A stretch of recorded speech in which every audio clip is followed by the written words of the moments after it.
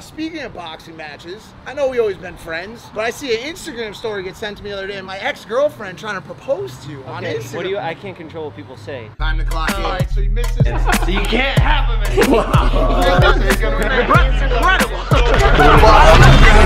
Mike sucks ass, so it's amazing to watch. All right, welcome back to the night shift, ladies and gentlemen. You're working late, and so are we. It's time to clock in. If you have not yet liked this video or subscribed to the channel, go ahead and do that right now. A lot of stuff going on over the past month or so, some good, some bad, but none of which I want to address here on the night shift main channel. This channel is all about having fun, positivity, inspiration, and staying clocked the fuck in, and that's what we're gonna do right now. I haven't put gum under the Impaulsive set in so long, and I miss it. Now I just throw it out into the middle of the street. When you look at me right now, what's the first thing you think of? Hair loss? No, I was gonna say, do I look very moisturized today? I've been moisturizing a lot. My skin looks good, right? Does it? Nice. As you guys know, a couple months ago, I paid about $3,000 to fly out an absolutely beautiful Costa Rican Instagram woman to Los Angeles. And by the time she got out here, I'd gotten COVID. It's one of the most, why is that open? I'm getting so, I'm gonna get hot. The coronavirus. Isn't there, is there one more name for it? COVID 19. COVID 19. She came through, she still stayed at the hotel, and then all of it blew up because we talked about it on Impaulsive, and it actually ended up making front page news on the Costa Rican country newspaper. I'm not a flyout guy. Obviously, there's enough beautiful women here in Los Angeles, but I thought it would be a fun exercise for the night shift. And honestly, I was kind of upset when I didn't get to see her. Why am I sitting in the car right now? Because she just hit me up and she is in Los Angeles, boys and girls. She came back and we are going to meet her for the first time. I don't usually get like this when meeting new girls, but there's so much hype around this one just because we built it up so much. What if she's her? What if I meet her and she's like seven feet tall? What if she's a dude? What if she's a fucking dude, bro? Did you ever think about that before? She just walks out, catfishes me, mm. seven feet tall, Manute Bol type shit, punches me in the fucking face like on some Floyd Mayweather shit. Just grab that dick. She's right there. Damn, I already seen her. She's not a dude. She's not a dude. And now a word from our sponsors. Ooh, nobody likes to get blue balled. We're so close too. Things taking too long, that sucks. Things happening way too fast, that sucks even more. So if you're one of those guys that gets a little bit too excited about sex, you need to check out Roman Swipes. You just pop it out the package, swipe it on your guy, let it dry, and boom, no more two pump chump. The best part, you don't need a prescription for swipes, and Roman will ship them to your door in unmarked packaging. So go to getroman.com forward slash Mike to get $10 off your first order of swipes and free two day shipping. Now let's get back into the night shift, baby. Dude, dude. I have to wear a mask here. I'm taking it off.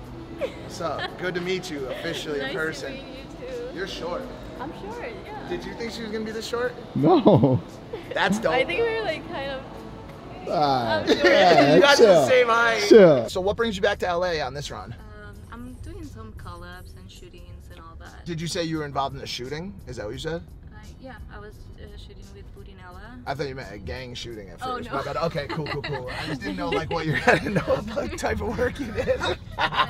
so you you ran into Harry Jowsey at the at the nightclub. We were with a bunch like of friends, and he was there. He's like, "Hey, how you? What are you doing here?" I'm like, uh, collabing with Mike in a video, and he's like, "Oh, that's amazing. Let's send him a selfie." That was all. I don't know what you said to Paul. So that to Paul, to Paul, Paul Logan. Listen, here's the deal. I'm laying in bed with COVID, and I see this beautiful woman that I've flown in from Costa Rica with Harry Jowsey. We weren't alone. We were like with a bunch of people. Can you tell me in Spanish what your favorite dishes are at Costa Rican or Cuban food? Bueno, a nosotros nos encanta comer gallo pinto para el desayuno, que es como gallo pinto con huevos, plátano maduro, muchos carbohidratos, una proteína, ya sea carne, pollo, pescado. David's warned me about Latina chicks, dude. They're too David spicy. said they're a little bit too spicy. Yeah, you don't want to see a Latina angry. That's what I'm saying. That's what I'm saying. That's- we're at this Cuban spot. It's called Versailles. Is that how you pronounce it? Versalles. Versailles. She said, yo, white boy, shut the fuck up.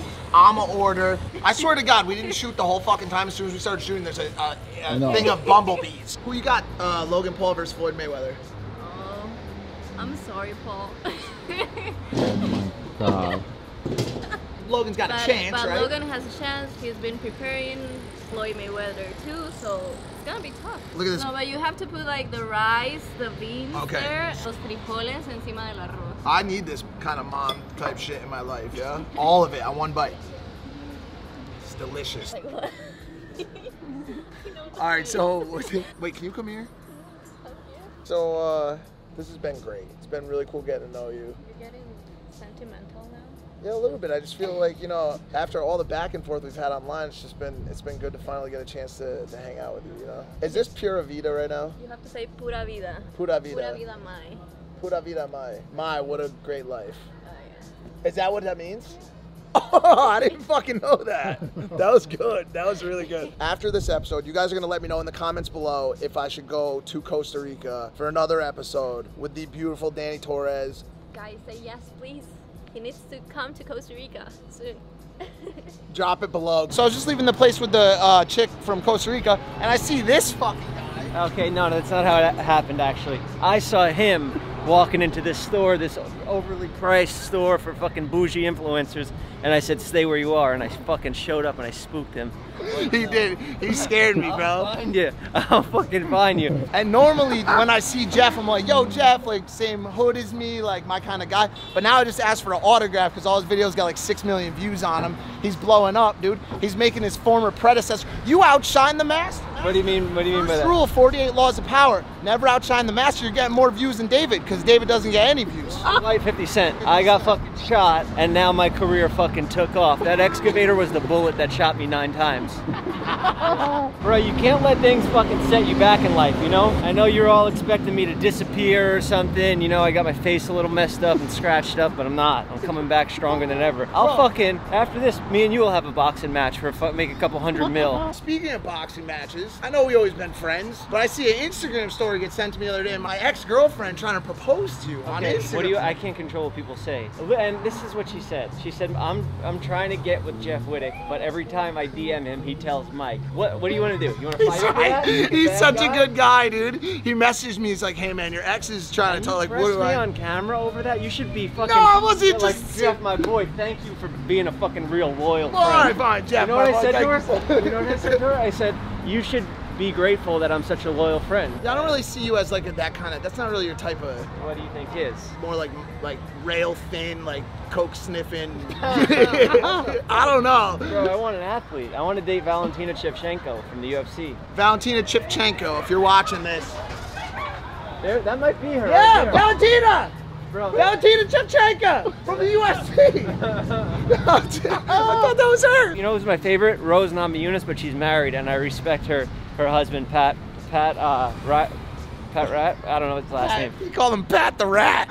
He said you're sex or call him Pat the Rat. But Valentina, I think she's single, so I'm going after her. I want to repopulate and have a UFC fighting baby. I'm gonna train him from birth. Two perfect eyes, because they don't have a fucked up eye yet. Here we go. This place right here is where Jeff's going to get his cryotherapy. Supposedly, if you freeze your balls long enough, it gives your optic nerve a fucking shock therapy. it makes you be able to see again. And by the way, he's not a white supremacist. I just Show your head. If you're not a white supremacist, you'll have hair. Oh, come on, bro. Oh, gave him a stupid haircut. What the fuck, Jeff? What a fucking guy, dude. Jeff Wittek, overall loved by everyone right now. You never thought you were gonna see a comeback like that. Kids on top of the world, you love to see it. Last week's video just came out today when you're watching this, and Adin wanted to do like a reaction video with Emily. So she's back at the house, and I wanted to have Rice explain to her, Rice, what is it like for a girl on Twi- on a Twitch stream? She has like a platform, a lot of gamers on No, there. come on, Rice. Not They like, don't see sunlight, so like, hey, it's like boom. They don't see sunlight. Males, just hella males. He's gonna tag you. Males is going up. You're gonna crush it, and from Adin's stream, like her shit's gonna pop. Oh yeah, no, he's number one right now. He was number one. He's number one, number one, number one, number one. So who can catch all these coins? First shot of the day, dude. Hey, guys. Hey Emily, how you doing? Doing good. Good. What up, Mike? Long time no see. Yeah, for real. I'm already live. I'm live right now. Oh shit. Wager. What are you doing, step bro? That's crazy. That's cool. I like sex too. Yeah? Yeah. What kind of sex? Uh, you know, I like everything. I like, you know, anal's my favorite. Anal's your favorite? Yeah, I mean, like, not. Wait, hold on. Yo, wait, hold on a second. Yo, chat. I, I didn't mean it like that. All right, guys, we're coming down to the end of another episode of The Night Shift. If you haven't yet liked this video or subscribed to the channel, go ahead and do that right now. I just want to take a quick second right now just to say thank you to um, all of the people who have rode with me for the past two months, uh, e- even for the past two years. All of the uh, people who watch the content, watch The Night Shift, the streams, have read the book, and most importantly, all the people who have sent me messages over the past uh, three to four weeks. Um, I really have been uh, kind of going through it and dealing with a lot of shit, and it has had an effect on my mental and those messages have um, have helped tremendously to to keep me in the fucking game, keep me going, keeping me cranking content, and um, and just staying in like a semi-positive mindset at least. So I just wanted to shout out everybody who's been there, continues to support me, um, and I just want to say thank you to everybody who um, is being patient. I don't want to drag and bog down this channel and turn it into some other fucking YouTube drama channel. This is a fun channel where we have a good time we roll around, we eat good food, we meet cool people, and we hang out with some of the coolest other creators. So like, yeah, I don't know. I just wanted to say my piece. I guess uh, we'll continue to see how everything plays out. And uh, for now, that's it for today's episode of The Night Shift. Thank you so much for working late with us. We're clocking out. Peace.